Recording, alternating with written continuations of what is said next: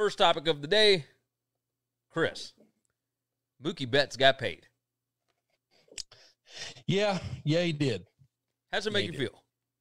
feel? Uh, annoyed. 12 years, $365 million.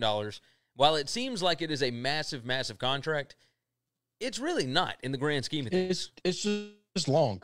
Yeah, it's but a, at it's the a end of really the day, long he could have gotten thirty million a year from anybody. Yeah, I, I think so. Um, and if you look at, if you go back and you look at all of the the big extensions, right? So the previous extension record was 360 million that was signed by Mike Trout. That included a 65 million dollar signing bonus. His overall deal was like what 430 million dollars. I want to say. I don't I don't remember the details of that. So, but uh, either it was way, a- I mean, it was a big deal. It's the biggest deal ever. Yeah. and it was a monster deal. it was massive, and this one was expected to compete with it. Uh, it it did, it did for the most part. Um, but you know, we're looking at thirty million dollars a year. You know, what is this guy going to look like when he gets to be 39, 40 years old? Because I mean, they- they're still going to be paying him. So, I am curious about it. I I really thought that something like this might hold off until after the pandemic, after all of this stuff goes down, because we're not sure how this is going to affect revenue going forward. And yet we've seen, you know, the monster Mahomes contract. We saw this monster contract, long term, lots of money. Eh, What what do you make of this? No, the sports leagues just assume that as soon as we get this, eventually we are going to get back to uh, a normal lifestyle that looks more like what it used to look like, and then what it looks like today. We assume that all markets will come back. We assume that things will continue to roll um, in our country. And with that being said, we're just going to make contracts based on those assumptions. Is it? We talked about this with the Mahomes thing. Is it a smart play to to do these super long term deals, or is that the only way that you're going to be able to keep these guys? So it just depends. I mean, it's all about safety and security for the for the player. Here's what we can't have. All right. I don't want to look back seven years from now, virtually halfway through both of these contracts. Okay. And both of these guys have way outplayed what we thought they would. All right. They they they've maintained the course of, of the trajectory that we think they're going to go on. Okay but the average player around them is now making $45 million or in the NFL, maybe $50 million, and they're in the 30s. And people saying this contract is an outrage and it has to be fixed. No, no, no, no. One of the one of the reasons that we got this number today is because seven years ago we gave you a hella good number, and we took the gamble that things might not be great back then and you took the safety and security. This is this is exactly why people thought the GM of the Bulls and the management and ownership of the Bulls were so wrong to Scottie Pippen. No, no, no. Scottie knew what he was doing when he got that contract and then bitched his entire way through it. Yeah. Okay. It, as long as six, seven, eight years into this deal, we get to the back end of it, and these guys aren't crying it's not fair to me because so many players are worse than I am, getting paid more than me. That's the bed you made. I will tell you that LeBron James has figured this thing out to maximize your amount of money instead of taking the super max deals, which basically you make the same amount of money, you just have long term. He was signing three and four year deals everywhere he went. Or, or a lot of knows- them, a lot of one year deals. Yeah, because he knows the cap keeps going up, the cap keeps going up. So the more times I get to sign a contract, the more money I can make. And I'm basically betting on myself to not get hurt or understanding that if all I make is $120 million, the one four year contract for 30 million apiece, that's enough to live the rest of my life on and be fine. So I'm going to keep betting on myself. And by time that four years is up, now I'm making 40 million. I get 160 for the next one. And if I can get a third one for maybe only two years, but at 50, then then I have almost doubled what I just made. Yeah. And and that's what these guys don't say. But they it's how do you walk away from 365 million dollars? I mean, if somebody puts that in front of you and says, you have to work for me the rest of your life until you're ready to retire. But you do get to retire whenever you'd like. But but while you're working, you can't work for anybody other than me. Here's 365 million dollars. I'm signing the dotted line. As long as I still have as long as I'm not handcuffed to you to where I can't retire and stop working one day, I'm just going to say yes. Okay. Yeah. I mean, that makes so, sense. So I get it. I I just don't want these guys crying foul. And it's not really the players all the time. It's a lot of times the media. It's a lot of time the fans. You know, how is Aaron Rodgers making so much? And and and you know, I don't know. You know, Jared Goff making a lot more than him. Like, I, yeah, he, he signed this deal signed, a long time ago. I can't, yeah, I can't help. I can't help that. You know, Joe Flacco at one point in time was making a lot more money than many many quarterbacks better than him. Oh yeah, he was that. he was the highest paid quarterback in the NFL it, for a for a little bit of a time there for a brief period, but yes. And, and now, I mean, his money is not even close. It it no. was just nothing. But at the so time, I do great. think both of these deals are going to look very team friendly on the back end, pending these guys still have relevancy and still have something to give. Yeah. No, I'm I'm with you. And I'm I think you. I think that I mean Mookie has the kind of body that you think should be able to play. Now, is he going to play until he's 39? Is he going to finish the contract? I don't I don't know the answer to that. Uh, okay. Who knows? But he, he's getting paid in the long term. Um, so Ben jumps in on Twitch. He said the Angels will still never make the playoffs. Uh, yeah, you're probably right. You're probably right because they can't afford to keep anybody else. Uh, Matt jumps in. He said they have to give him that long term deal to keep them during their prime. If they don't want to give them that 10 year deal, then another team will and they'll bounce. Uh, he said you got to suck it up for the last three years that they're not great to ensure that you've got them for the period that they are great. No, and I agree with that. That is that is the devil panic. Basically, there's going to be a window of time where they should be making 40 in in this case. Yeah. But but they're only going to be making 30 and you're you're hoping that you make that money back that that 4 year window you're going to get that extra 40 million when you're paying them 40 million to do nothing at the back end of the contract because they're just not good. Yeah.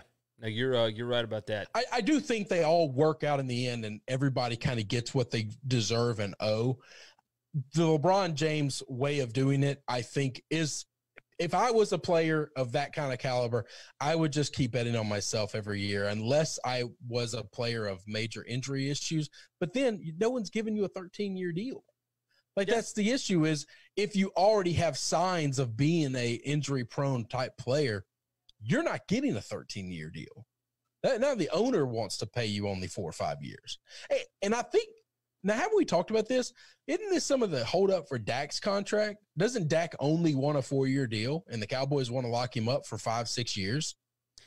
I I think that's it. Or I think I don't know that it's the, the money per now. Obviously, he has said he wants 40 and he's he hasn't come off of that one penny. But I do think the other part is is he only wants it to be a four year deal because he wants he knows in four years I'm I'm gonna re up and I think I my body type I can play another eight years. And if I can play eight, I get two of these contracts. But that second one will be worth a hell of a lot more than the first one. I mean, realistically, could be worth ten million a year more. Yeah, no, it, it really could. Uh, Buster I mean, Olney, the cap keeps going. They're not giving offensive linemen more money. Okay, the yeah. higher the cap goes, the more quarterbacks are going to make. That's, yeah, that's, that's, that's just the, it's going to work. That's just running backs. Not all of a sudden finally going to get paid. Buster Olney, uh, ESPN's MLB, I guess, guru, whatever you want to call it. Yep. Uh, Mike Campion, by the way, said Dak won't sign for more. That's the holdup. The money has been close. Uh, yeah, I mean, who knows? Who knows at this point? Uh, Buster said he was very surprised at this because of all the front office executives in baseball, Andrew Friedman might be the most disciplined, reflexively veering around risk. He's been the blackjack player who never veers from his system, and this deal carries enormous risk given the uncertainty about baseball's financial landscape. It seemed more likely, given Friedman's discipline, that he would wait to see where the salary numbers moved and whether there would be fans in the stands in 21. But the Dodgers obviously can assume more risk than most teams, and when the numbers are this big, it's ownership's call. Uh, the prospect of Cody Bellinger and Betts playing side by side is like teaming Superman and Batman. Yeah, it, it, now the now the negative side for the Dodgers is is positive and negative for their books. Buster Buster is the best beat writer in all of sports and any coverage thing. He knows these teams inside and out better than anybody. And he broke down the Dodgers virtually have no money on their books after 2022 that they can't get out of. And and that that A makes it to where you're basically going to build the rest of the team around him and everybody else's contract goes around him after 2022. Yeah. Um and and that's a lot of flexibility to the I mean that gives the owners the ability to do that. And and yeah, so if they have a couple of tight years, you're also talking about the Dodgers. There's a few organizations in baseball that have deeper pockets than everyone else. And and it's just it's just the way it is. The Yankees, the Red Sox, the Cubs, the Dodgers, probably the Houston Astros. That that might be the list. I mean, I might be forgetting one or two other teams that sometimes are big players, but nobody is consistently year in and year out. We've got the money. We can take the risk. That's why it hurts so bad being a Sox fan. When we, the scouting department did everything right, the drafting department did everything right. They found this kid out of Nashville, Tennessee, and they said he's going to be a star. He could be the next Ted Williams. They got him into Fenway early, and he outplayed every expectation you had and a big market team like the Red. This is what's supposed to happen to the White Sox. This is what's supposed to happen to the Marlins. Okay, this is what's supposed to happen to those teams, not to us. Yeah, not not to the Red Sox. It, it's strange to see it happen for sure. So it is a monster deal. Uh, it's the biggest sports news of the day because I mean it's the day before the season starts, and it kind of came out of nowhere. So yeah, it's a little bit surprising I on the timing. I think it's good for baseball because it it kind of carries us into some positive news as the league gets started tomorrow. Tomorrow, we are going to see two of the best pitchers in all of baseball toe the mound and throw the rock in a game that actually matters in Gerrit Cole and Max Scherzer. Yeah. That that's gonna happen tomorrow night, pending something just insane, catastrophic doesn't go down. Are you uh you're off work tomorrow, right? I am. I mean, officially, no. I mean, I have to work. Okay, I, I didn't know if I didn't know if you every- were taking off for. Uh, for So I opening day. always take off for opening day. I don't know what tomorrow day games are. I, I think tomorrow is the the big night game, and Friday is going to be the big day game. Let me look here. That's it. Yeah, I'll let you go ahead and check that out before we dive into uh, some NFL stuff. Uh, Joseph wow, Gomez said, my Yahoo Sports Scores app doesn't have any game slated for tomorrow at all. other than the game tomorrow night. Oh, somehow it got on. Never mind. Somehow it got on soccer. It's like, what the hell? Why doesn't it have the games on? Yeah, tomorrow's just the two night games. That's okay, it. So and then what? it, will be Friday, Friday? that I will not be. It'll be Friday that I will not be working. I'm gonna request that we try to do the show early tomorrow, and then I'll miss all the evening games tomorrow, which I'm not happy about. But my Red Sox play in the afternoon, so I'm okay. No, they don't. Shit, they play at six thirty. There you go. be part of it. But tomorrow we'll be going live at three o'clock anyway, um, because I will be back in the office. So I mean, I, wasn't worried about tomorrow. I mean, I meant Friday. Friday, yeah, we can uh, we can still go early if you want to. We'll figure it out. Obviously, uh, with this show, we are our own bosses. We can do what we Yeah. want. But. Friday, So, Friday is the day I take off work. So ever you since they started doing the opening night, and then the next day is opening day. and they got I- baseball I- just I- all day.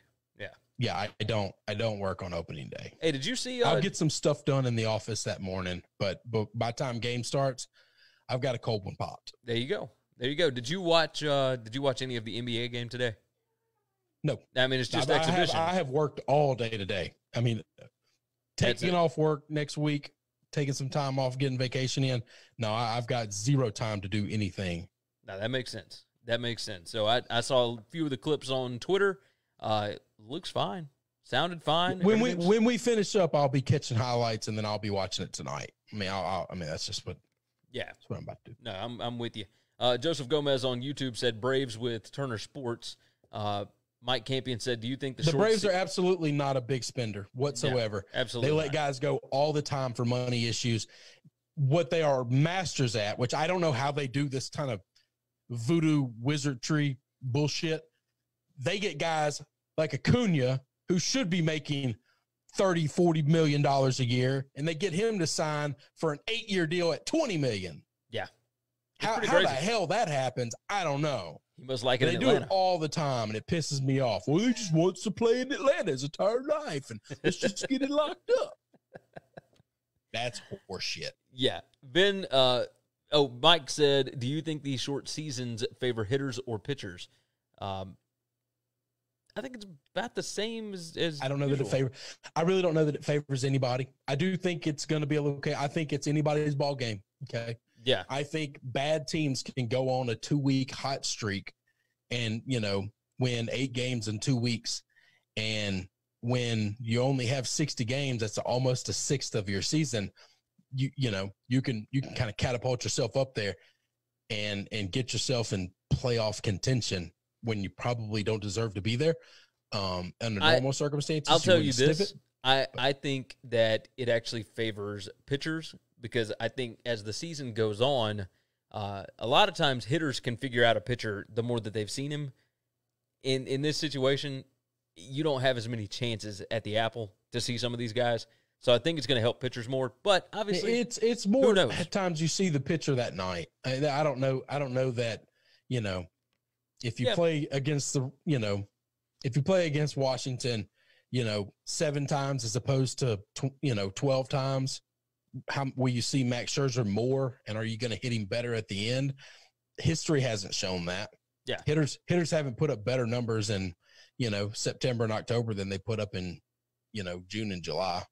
That that's that's a valid point. That's a valid. That, point. was the case. Then offensive numbers would go up at the end of the season every year, and they, they just don't. And they yeah, they really don't. Uh, Ben, it, on, it's I mean it's pretty even. It's pretty even. Yeah. Ben said on Twitch, uh, that's what sucks about being an A's fan. Big teams will pick off our great young players. I'm just waiting for Matt Chapman to get stolen from us. He said the uh, the oh. Royals fell into the small market cycle. Yeah. Yeah. No, absolutely. And then uh, Joseph Gomez said, Bol Bol is all I saw on basketball today.